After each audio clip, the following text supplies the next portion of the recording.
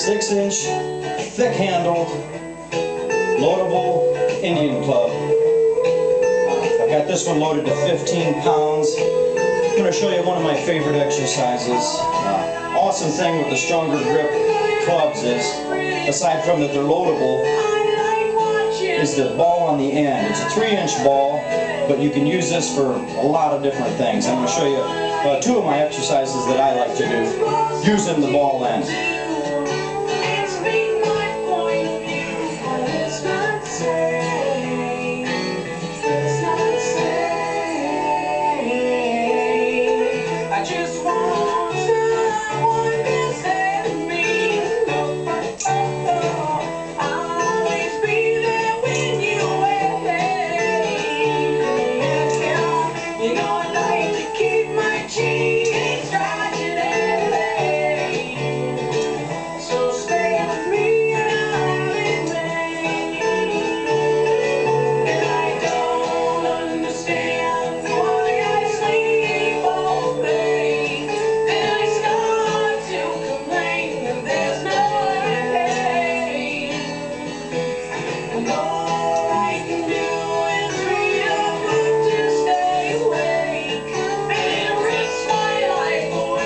One would just be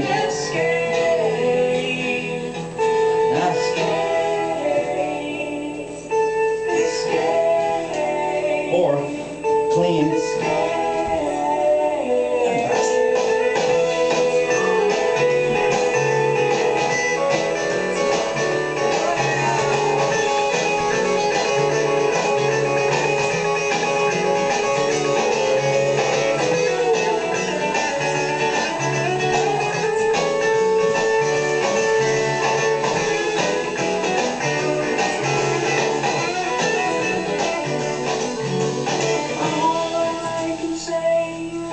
Doesn't take long before your forearms and grip are screaming from grabbing onto that baby. Six inch and five inch loadable Indian club.